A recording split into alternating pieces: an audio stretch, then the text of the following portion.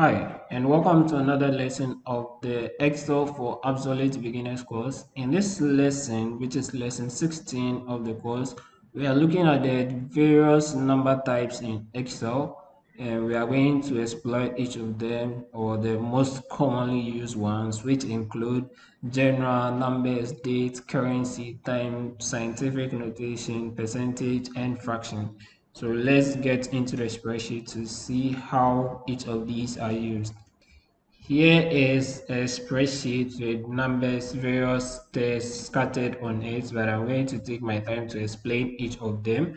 Excel actually gives us the ability to use different uh, number formats, all right? And to begin with, by default, any text that you write in Excel is under the general format. So that is what you usually see. How do you know that it is the general one that you are using? When you come to the ribbon under the number the number group which is also under the home tab. So click on home tab and check under number group you find general here okay but we can also click this to expand and find the on the format cell all the various categories of numbers that we can have we are going to explore each of them but as i said the general is what it comes by default so if you haven't applied any special number type or category to the text or numbers that you've written in excel then they come in the form of general. However, Excel is quite smart and sometimes will automatically pick up the kind of number that you are writing. So for instance, even though we may be using general by default, if I type, anytime I type a name, okay, and when I type a number, you realize that there is a difference between these two even though it is still general so this is general as you can see it is general that we are using then here too is also general. But excel has already determined or detect that this is numbers and this is text. How do we know that? See how it has oriented them or aligned them. So anytime there is text in excel it is aligned to the left and numbers are aligned to the right. That is how to spot what whether what you have is a text or uh, is a number. So if I go ahead and write any text aligned to the left, if I write a number aligned to the right, so always pay attention to that. But for now, you haven't specifically told Excel that this is text and this is numbers all right so that should be taken note of.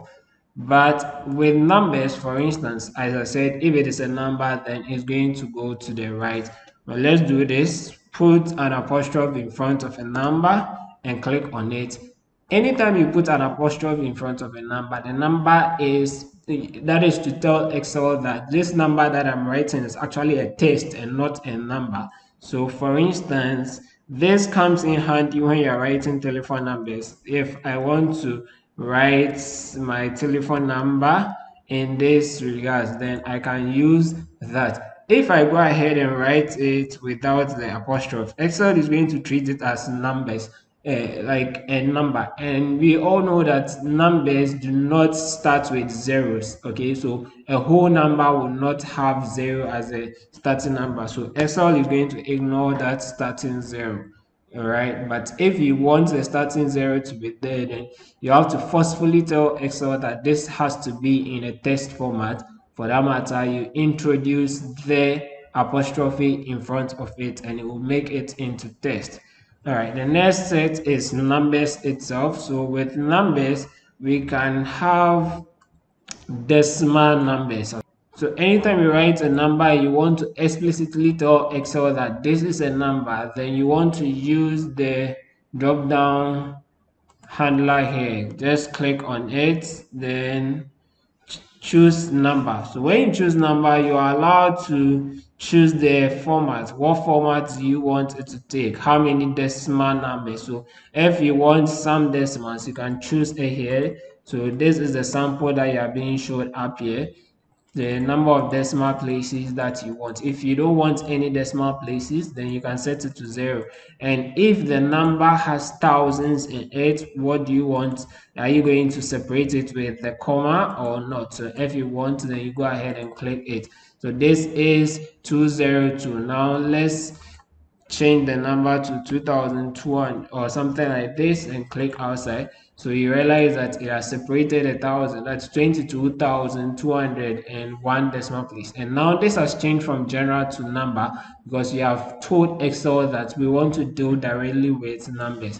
All right the next thing that is test. I've talked about test already. Almost anything at all that you write will be in the form of test. So you can just go ahead or let's say this one just go ahead and choose test right here and as you can see it is in the form of test so if you had some numbers in here that excel is treating as number and for that matter is not showing the leading zero then you can go there and say hey i want this to be test so leave it as test once it's done as test, I can come in to edit and put a zero in front of it and that also works.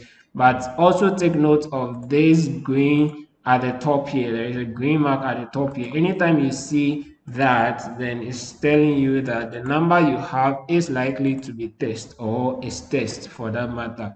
Okay, the next thing to look at is currency obviously when you are using your excel for calculations one of the common things you encounter is using it for uh, calculations involving money and you need to specify the specific currency that you are using for that matter if i have let's say a sales uh, spreadsheet that i'm working on i'm going to have something like the cost of items so in in my country we use ghana cedis so if I want to apply my Ghana cedi symbol to it so that everybody knows that these are the prices in Ghana cedis, then how do you go about it? Select the cell that you want to apply that format to. Click on this to activate the format cells and choose currency. Currency is right here. You're also allowed to choose the number of decimal places that you want to place it. Then the symbol. So choose the symbol. There are a lot of them here. You can choose a dollar, any of them. For there are a lot of them, but I want to go with Ghana cedis because I'm in Ghana right now.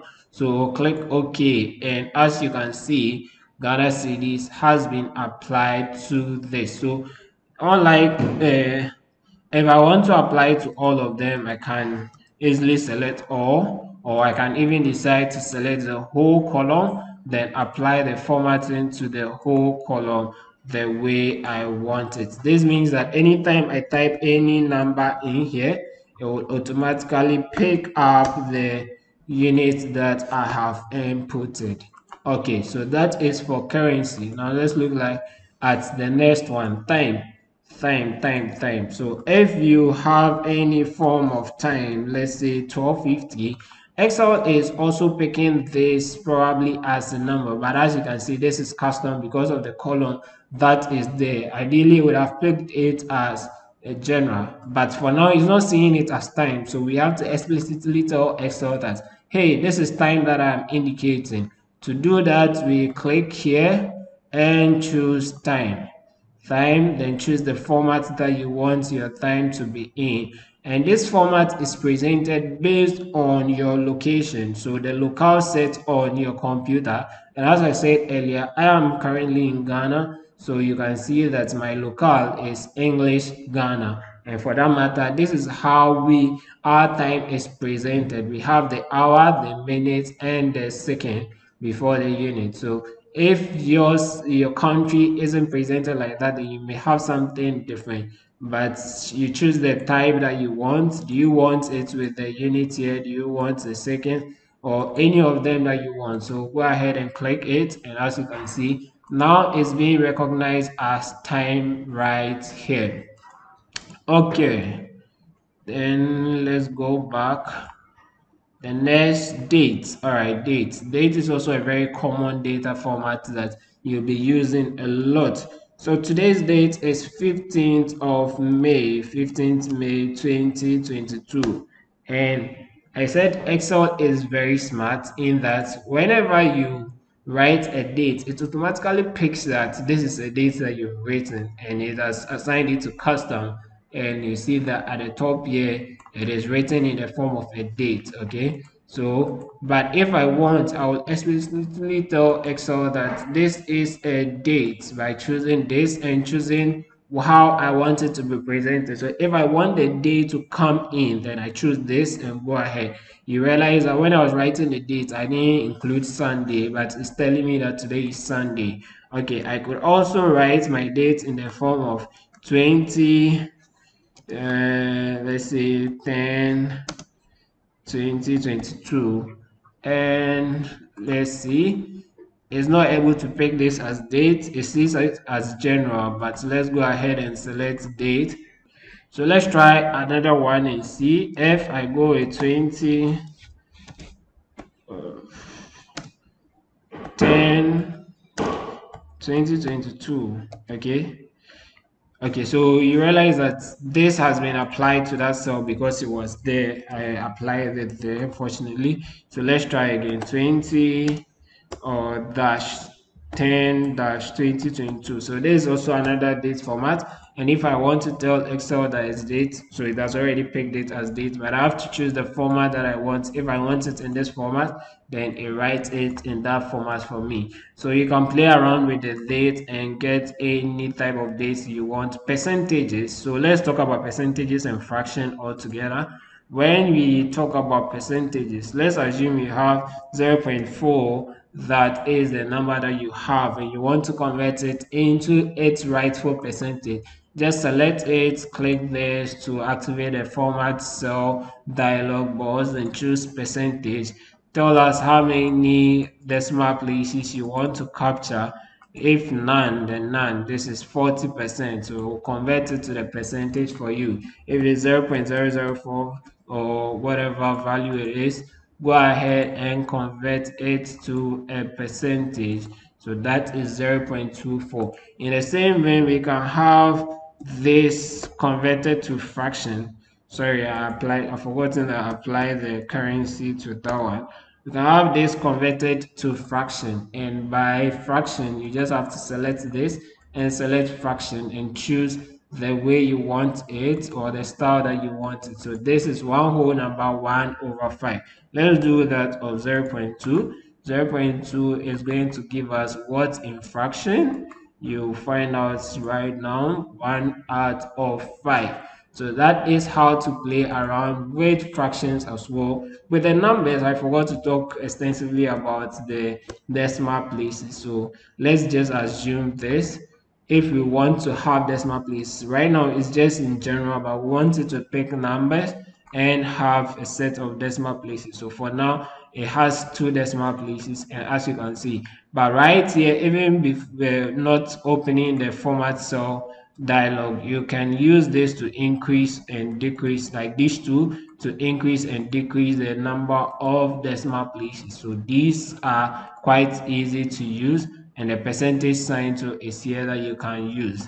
All right. The comma style, as I've told you with apostrophe, you use it to convert a number into text. Okay. Then scientific one, two. So you realize that this number is quite long and uh, when you change this, even though at the moment it's in the form of a number, when you change it to scientific notation, let, let me do it and you see. Those of you who have science background will understand this. So we have the scientific notation, and that is where you have e raised to power something or yes. So this long number, as you can see in the formula bar right now, when we convert it to the scientific notation, becomes 2.56e plus 20. Okay, so that is scientific notation. And if you happen to be dealing with that sort of data, this will make sense to you. So these are the various formats of numbers that you are likely to encounter on a regular basis whilst using Excel. And I hope you understand them from this lesson. You need to play around them the more to appreciate how to use each of them. Thank you for watching and I'll see you in the next lesson. Bye.